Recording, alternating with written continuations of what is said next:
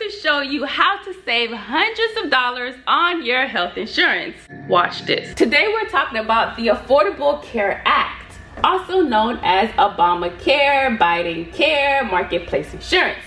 Now we're going to talk about the cost sharing reduction. This lowers your out-of-pocket expense on your deductibles, co-payments, co-insurance, and this only applies to the silver plans only. We did a quote for a young female. Her monthly premium is 76 cents, zero deductible. And look at her doctor visits. $5 to see the doctor, $10 for the specialist, and her generic drugs is that magic number free.